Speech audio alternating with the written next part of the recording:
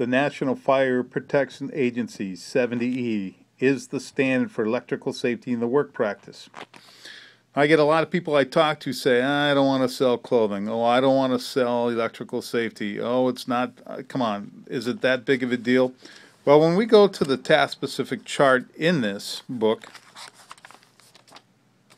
if we just look at this one section here, it says panel boards or other equipment rated 200 volts and up to 600 volts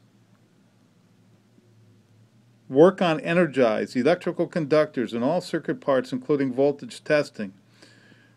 To voltage test at a panel rated 240 or greater, I need HRC2 clothing with rubber insulated gloves with tools. What does HRC2 clothing look like?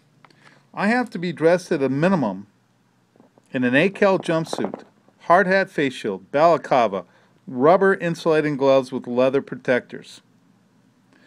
So the question I ask all the stores is this, is your customers are coming in and buying voltage detectors, they're buying meters.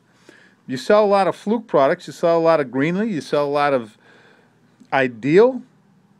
The question is, if you're selling them the testing equipment, why not the clothing to be worn when they have to test?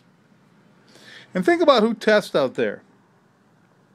School districts have a lot of people walking around getting into the panels, HVAC techs, staff electricians.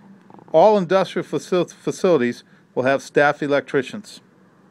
Airports, sporting arenas, colleges, hospitals, they all have large electrical staffs, maintenance staffs running around, and they get into the panels.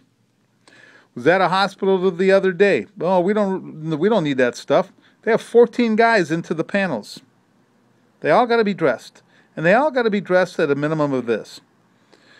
So ask yourself whether you're a safety company selling safety clothing, whether you're an electrical distributor, maybe an industrial, industrial distributor, if you spent 40 years building relationships, building a customer base, why not offer them everything they need?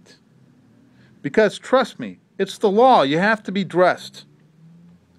And if they can't get it from you, they will get it from one of your competitors down the street or go online. The question is can we really afford to bleed off our customer base while they're going other places to get the, get the thing you should be selling? So, American Safety Clothing, we've been making this particular type of clothing for a very long time 40 plus years grab a, grab our catalog, take a look at what we offer, give us a call. We're very good at what we do. We can help you with this. We look forward to servicing you. We look forward to working with your customers. Use us for our expertise, for our innovation, and we'll use you for that for the for the, the time you spent building your customer base.